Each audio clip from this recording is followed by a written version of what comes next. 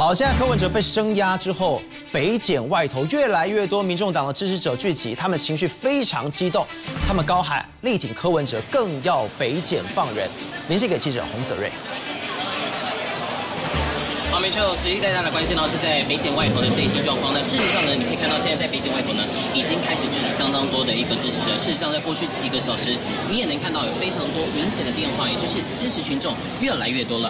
事实上呢，不止在北检前的这一整个广场都是挤满了这个支持的民众之外呢，甚至我们可以看到，包含了在对向的人行道上，也有非常多的支持群众就站在对面。那当然，我们从现场画面你也可以看到了，非常多的民众是拿着包括。了像是程序要正义，司法要公平。那另外呢，也有人拿着相信清白，柯批加油，还有人喊着是柯批加油，要他今天回家。那当然呢，我们可以看到在现场的群众其实情绪也相当的激动。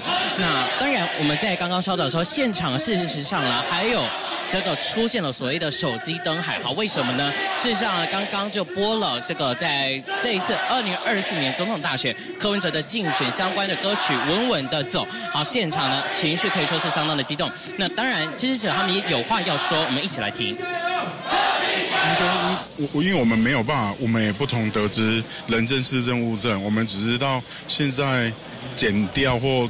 警警方他们所提供的说明，那要让我们如何？我们呃，柯文哲如果真的有罪，那你大胆讲出来嘛？因为昨天真的是不公不义、不明不白，也没有说柯文哲就是他为什么会被羁押、会被收押。那到现在，我们今天在这里等了，我从昨天呃晚上十一点多到现在，我们没有听到我们的。警方给我们一个合理的说法。